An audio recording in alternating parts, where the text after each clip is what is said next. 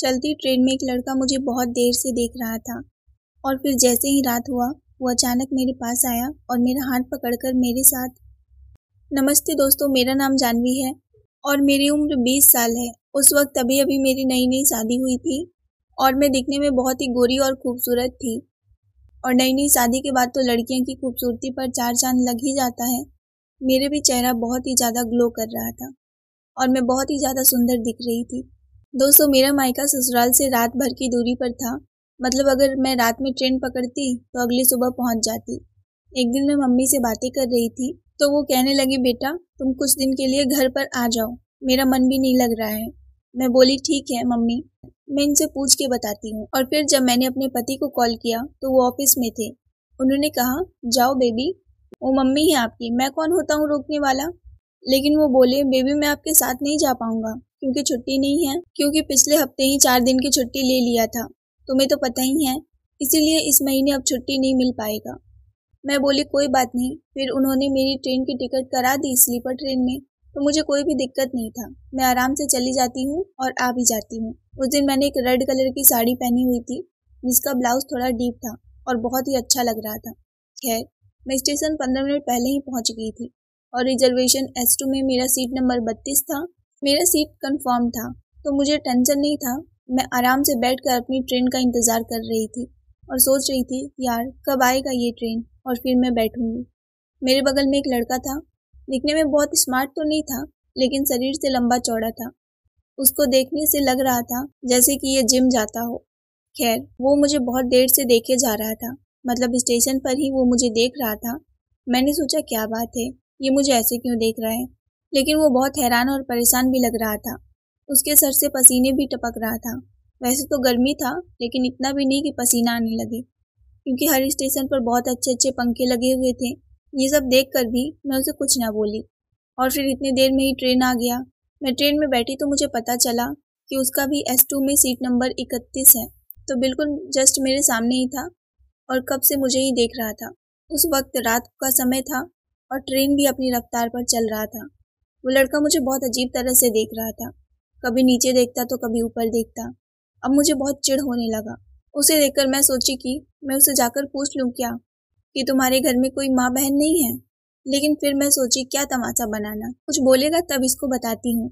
लेकिन वो कुछ बोल ही नहीं रहा था। फिर उसने देखा कि सब लोग धीरे धीरे सोने लगे हैं। तो वो मेरे पास आकर मेरी सीट पर बैठ गया, क्योंकि उसकी सीट बीच वाली थी और मेरी सीट नीचे वाली थी। तो उसने कहा कि मुझे अभी सोने का दिल नहीं है, इसीलिए थोड़ा मैं बैठ जाता हूँ। उस वक्त शाम हो रहा था। मैंने कहा कि ठीक है, कोई बात नहीं। इतना बोलकर मैं अपना फ़ोन चलाने लगी और अपने पति से बात कर रही थी कि मुझे सीट मिल गया है और मैं बैठ गई हूँ। उन्होंने कहा कि अच्छी बात है। तुम एक बार मम्मी को भी कॉल करके बता देना। मैं बोली, अरे हाँ ये तो मैं भूल ही गई थी। अच्छा चलो मैं आपसे बाद में बात करती हूँ। पहले मैं अपनी मम्मी को भी बता देती हूँ। यहाँ मैं ट्रेन में बैठ गई। फिर मैं उनका मैसेज छोड़कर मम्मी को फ़ोन लगाई और मैंने कहा कि हाँ मम्मी, मैं सीट पर बैठ गई हूँ और आराम से कल सुबह तक पहुँच जाऊँगी। आप टेंशन मत लेना। वो लड़का फिर मुझे देखने लगा कि कल सुबह तक मतलब यहाँ रात भर रुकेंगी। और उसके चेहरे पर थोड़ा मतलब तसल्ली जैसा कुछ दिख रहा था। फिर मैं जैसे ही मम्मी का फ़ोन रखी तो उसने कहा कि अच्छा आप कल सुबह उतरेंगी क्या? मैंने कहा कि हाँ क्यों? क्या हुआ? उसने कहा, मुझे भी कल सुबह उतरना है। वैसे आप कहाँ जा रहे हो? मैंने कहा कि मैं तो कानपुर जा रही हूँ। और तुम? उसने कहा कि मैं लखनऊ ही उतर जाऊँगा। मैंने कहा कि अच्छा सही है। हाँ लखनऊ कानपुर से ज़्यादा दूर भी नहीं है।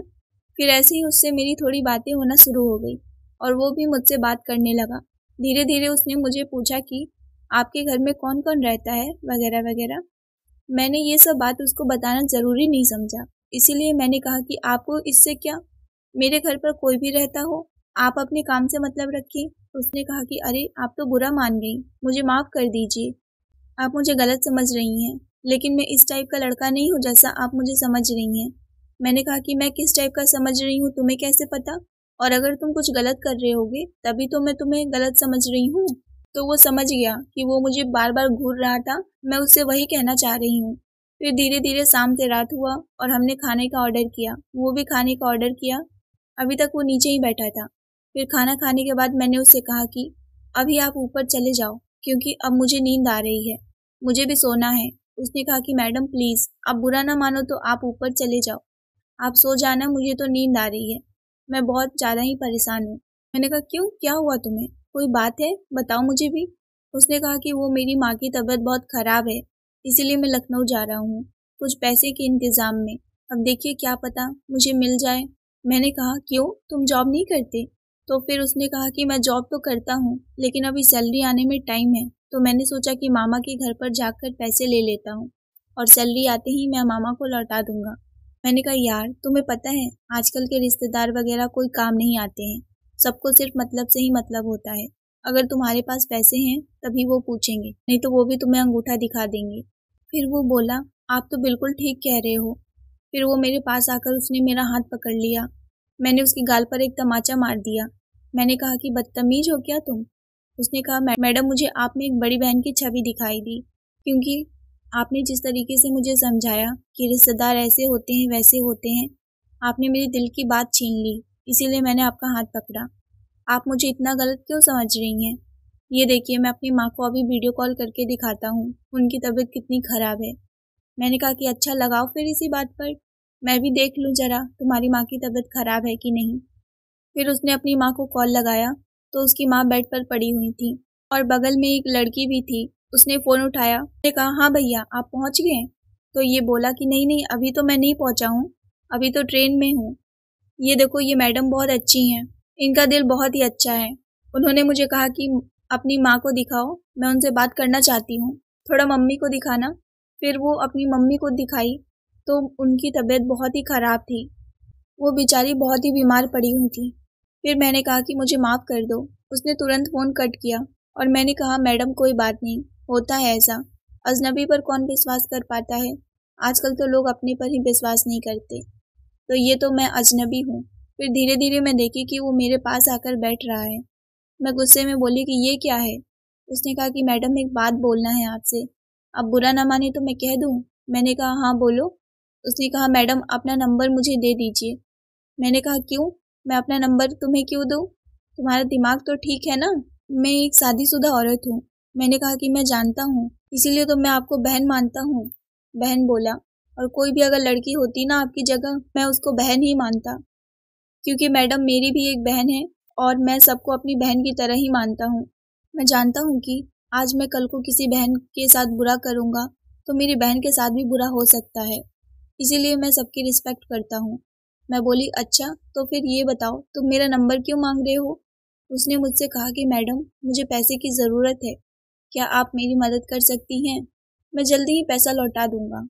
आप मेरा नंबर भी रख लीजिए और मेरे घर की बहन का भी नंबर रख लीजिए। मैं थोड़ी देर सोची और मैंने सोचा कि, यार, ये अजनबी है, पता नहीं पैसे लौटाएगा कि नहीं, क्या करेगा क्या नहीं? कभी ये सही बात कर रहा है, कभी गलत। मुझे तो उसके बारे में कुछ समझ ही में नहीं आ रहा था। लेकिन फिर भी मुझे याद आया कि वीडियो कॉल पर इसकी माँ को देखी थी। फिर मैंने कहा कि अच्छा तुम रुको। फिर मैं अपने पर्स में तीन हज़ार रुपये रखी थी। मैंने उसे दे दी। उसने कहा, शुक्रिया मैडम, मैं आपको अपनी सैलरी मिलते ही तुरंत लौटा दूँगा। मैंने कहा अच्छा कोई बात नहीं, ठीक है। मैंने सोचा, इसकी माँ अभी बीमार है और इसको पैसे की ज़रूरत है तो क्यों ना दूँ मैं? अभी मेरे पास पैसे हैं कल को मेरी हालत अगर ख़राब हुई तो आज अगर मैं किसी की मदद करती हूँ तो कल भगवान मेरी मदद भी ज़रूर करेंगे। ये सोचकर मैंने उसे पैसे तो दे दिया था, फिर जैसे ही मैं अपने घर पर गई तो मुझे पता चला कि मेरे पति का प्रमोशन हो गया है। ये सुनकर मैं बहुत ही ज़्यादा खुश हुई, लेकिन मैं अपने मम्मी के यहाँ पर थी तो मैंने कहा, मम्मी, अब मुझे प्लीज़ मुझे जल्दी घर जाना है, क्योंकि मैं इस खुशी में अपने पति के पास रहना चाहती हूँ, और उनको भी मेरी ज़रूरत होगी, क्योंकि मेरे पति अकेले रहते हैं तो कुछ भी होगा तो वो सेलिब्रेट नहीं कर पाएँगे। अगर मैं रहूँगी तो छोटा सा पार्टी भी हो जाएगी। मम्मी ने कहा कि ठीक है बेटा, अब तू पराई हो गई है और मुझसे ज़्यादा तुझे अपनी पति से प्यार है। तो मैंने कहा कि मम्मी, जब तक मैं यहाँ पर थी, तब तक मुझे आप लोग को देखना था। लेकिन जब मेरी शादी हो गई है तो मुझे मेरे पति को भी देखना है ना? वैसे भी आपकी तबीयत अभी ठीक है। आपने मुझे तो सिर्फ़ देखने के लिए बुलाया था। मैं बाद में आपको पक्का आऊँगी और उनको भी लेकर आऊँगी। उन्होंने कहा कि ठीक है बेटा, जाओ। और मेरी तरफ़ से दामाद जी को भी बधाई देना। मैंने कहा कि ठीक है माँ। फिर मैं गई और जाते जाते अपने पति को गले से लगा ली। और मैंने कहा कि कॉन्ग्रेचुलेसन जान, आपकी प्रमोशन हो गई। उन्होंने कहा कि थैंक यू बेबी तुम मेरे लिए इतना जल्दी आ गई? तुम बहुत ही अच्छी लड़की हो। मैं बोली, ये सब तो मैं आपकी वजह से ही इतनी अच्छी बन पाई हूँ। फिर उसके बाद मेरे पति बोले, पता नहीं आज मेरे बॉस मेरे ऊपर इतना मेहरबान कैसे हो गए? कि मेरी तुरंत अचानक से ही प्रमोशन हो गया। मैं तो बहुत दिन से सोच रहा था, कब होगा कब होगा। लेकिन देखो ना, हो गया। मैंने कहा कि आपको पता है, आज रास्ते में मुझे एक लड़का मिला, जिसकी माँ बीमार थी और उसको पैसे की ज़रूरत थी। तो मेरे पास तीन हज़ार रुपये पड़े थे तो मैं उसको दे दी।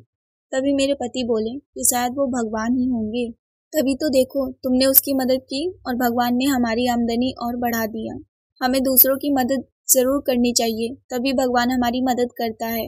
देखो ना, आज हमारा कितना अच्छा प्रमोशन भी हो गया है। मैं और मेरे पति बहुत खुश थे और फिर हम दोनों रात को डिनर पर भी गए थे। दोस्तों, इस कहानी को सुनाने का सिर्फ़ एक ही मकसद था कि हमें ज़रूरतमंद की मदद ज़रूर करनी चाहिए और हमें मन में ऐसा भाव नहीं रखना चाहिए कि हमें वापस कुछ मिलेगा या नहीं, या फिर इसके बदले में मुझे कुछ मिलेगा या नहीं। ये तो सब भगवान के हाथों में है। ऊपर वाला चाहे तो हमें बना सकता है और वही चाहे तो बिगाड़ भी सकते हैं। तो भगवान का नाम लेकर आप सबकी मदद ज़रूर करें। और कहानी पसंद आई हो तो वीडियो को लाइक शेयर और सब्सक्राइब ज़रूर करें। मिलते हैं नई कहानी को लेकर। तब तक के लिए आप सबका धन्यवाद।